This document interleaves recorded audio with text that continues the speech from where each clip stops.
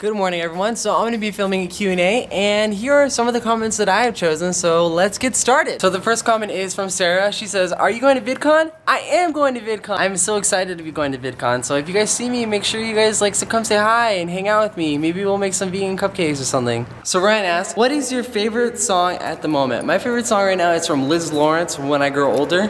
Such a good song. It was actually the song for Vampire Diaries, the last episode. I started bawling my little eyes out. Such a good song. If you guys haven't heard that song, look it up. It's really, really good. So Christian asked, if you could go anywhere, where would it be? It would probably be Japan. I've always wanted to go to Japan. John asked, when we get married, what macaroon flavors do we pick for our wedding cake? Um, there's a lot of flavors I like. I like definitely like floral ones and lavender ones are absolute favorite. So I would say floral ones for sure. So when is my birthday? It's actually July 9th and it's coming up. I'm really, really excited. So make sure you guys send me some, some stuff through my mail PO box. Links down below. So Mikey asked, if you could tell your younger self anything, what would it be? It would probably be be who you are and don't change who you are. Because I, growing up, I would change who I am all the time with my friends. And I would say just be yourself and everything else will follow. As corny as that sounds, it's actually really, really true. Made me a lot happier. Head ass, what is your favorite piece of article of clothing? It'd probably be this headband. I love it so much. Heidi asks, how'd you get into art? Um, I would say when I was younger, me and my sister and brother, actually, well, my sister and my brother used to go play out in sports, and I used to be in the house being a loner because I wasn't good at sports.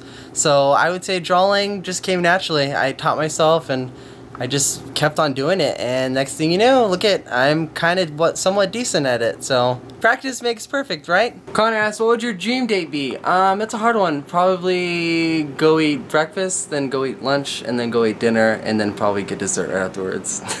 and then probably get like second desserts. God, I'm such a badass. So Gary asks, what are your pet peeves and turnoffs? So my pet peeves and turnoffs would probably be I don't know, people that talk with their mouth full, people that vlog. When I'm vlogging, that's probably one of my biggest pet peeves. I hate when people vlog. I hate it when people vlog when I vlog. Is that my shirt? Shit, she called me again, girl. So hope you guys like this vlog and make sure to comment and subscribe. You copied me the whole thing. Bye! Good morning, everyone. So I'm gonna be doing Q&A. I haven't done it in a very, very long time. So I decided, why not? I'm talking really quiet because Megan and Jimmy just got home and I want to be like, they're super tired, so I just want to be quiet.